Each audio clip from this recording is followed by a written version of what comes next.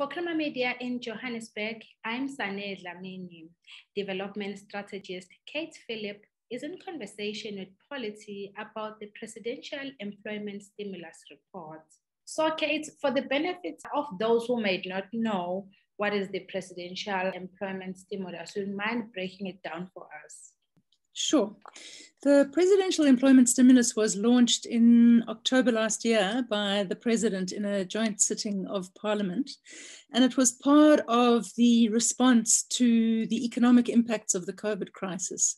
So it forms part of the wider economic reconstruction and, re- and recovery plan. And what it entails was an urgent allocation of 12.6 billion for special employment programs and other forms of support. It actually includes three different elements. Uh, the main component is public employment. There was also some support to job retention, in particular types of enterprises that are partly public but that also uh, relied on other income streams, like in the sports sector, for example, and cultural institutions. Um, and in the schools, in fact, there was a component of job retention. Um, there was also a livelihood support component. So, recognizing that particularly vulnerable categories of self employed people were also affected. So, that included things like uh, vouchers, production input vouchers to subsistence farmers, um, so there was a livelihood support component as well. Would you mind telling us how this package is helping young graduates like Nkateko Silinda, who says getting the job at the South African Heritage Resource Agency resulted in her regaining self-confidence? Yes, the employment stimulus includes support across a spectrum of categories of people affected, um, and that includes young graduates. And we know that you know, for many young graduates, this is an extremely hostile labor market. And after all the efforts of investment of, of time and resources into, into getting their, their qualifications, um, it's a really hard, hard time. So there is a component of graduate support within the stimulus. Um, the biggest program in the stimulus has been the school assistance program. And while the teacher's assistants did not require graduate qualifications, graduates were prioritized within that program. So a lot of graduates were absorbed into the schools as teachers' assistants, but there were a range of other programs focused on graduates. So for example, the Department of Science and Innovation included a range of programs that involved uh, young graduates um, applying their skills in different ways. Uh, the Department of Public Works and um, Infrastructure also uh, included young professionals in things like the Welisizwe Rural Bridges program. And so graduates have been incorporated at a range of levels within, within the stimulus. And through this package, Kate, the Municipal Infrastructure Support Agency will capacitate and support 15 municipalities to adopt labor intensive methods in the delivery of infrastructure maintenance projects. Tell us about that. So, the country invests a lot in infrastructure, and obviously, mm. infrastructure is very important for both social and economic reasons. Uh, and that investment, we need to optimize the employment outcomes of that.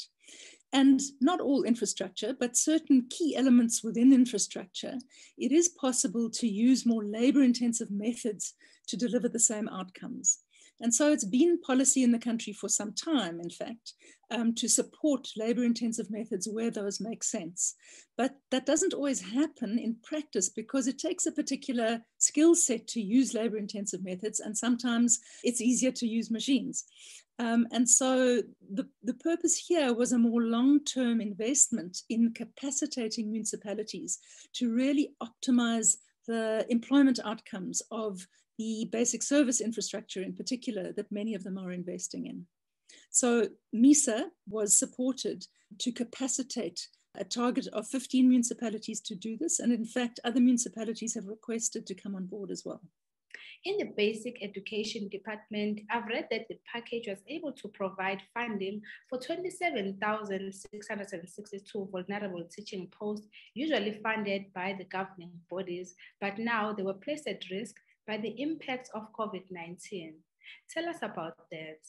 Yes, and in fact, that we've just heard that that number is actually higher. Um, more posts than that, over 30,000 posts were supported. So, in fee paying schools, many fee paying schools, uh, the fees of parents are used to augment teacher capacity, the number of teachers in, in a school. Um, and in the context of COVID, suddenly those jobs were, were placed at risk.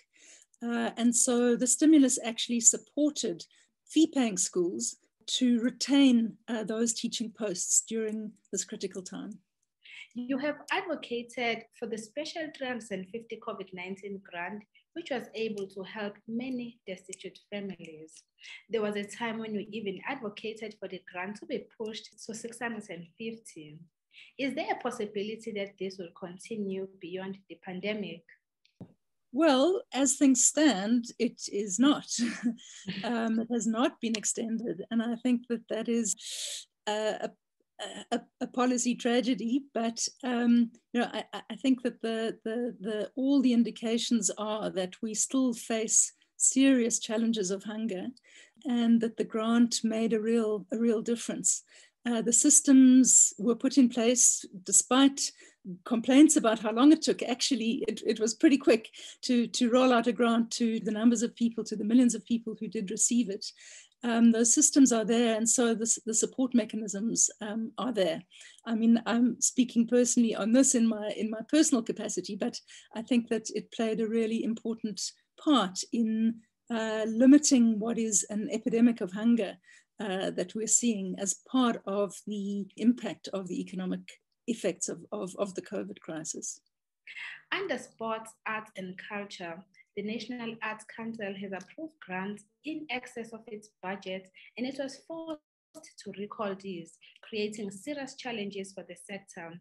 I understand that action is being taken against those responsible, and funds have now been reallocated to all approved applicants. Can you briefly tell us about that? Yes, I can't speak for the department on that. Mm-hmm. Um, mm-hmm. I think, though, that it's important to understand a little bit of context there as well. I mean, it is, mm. it, it, was very, uh, it affected the sector very negatively, but the context yes. was that the stimulus actually, the intention of the stimulus was to provide substantial support to the creative sector. The budget that the National Arts Council had was, I think, three times their normal annual budget just for the stimulus to support the sector. And for that, the organization had to really go the extra mile. I know that they worked incredibly hard over the, the December break while other people were on break. They were processing, you know, they had a, a, an allocation of 300 million. They had applications to the value of over 2 billion. And I think one of the things that that shows is firstly how much need there was in the sector, but also how much potential there is for job creation if that sector can get support. The reality is that in the process of processing this vast number of applications, there was uh, a flaw in the management system, and they ended up allocating uh, awards to the value of more than their budget. Then what they did was they withdrew those awards, but the people who'd already believed they'd received rewards were then, of course, very disadvantaged because some of them had appointed people, some of them had entered into contracts. And so there was a lot of outcry in the sector. But the context was one in which the board allocated more awards than their budget, then decided to withdraw the, the awards already made to spread the budget across all who, who, who qualified. It was a really unfortunate um, uh, outcome uh, in a context where the intention was to really provide a boost to the creative sector.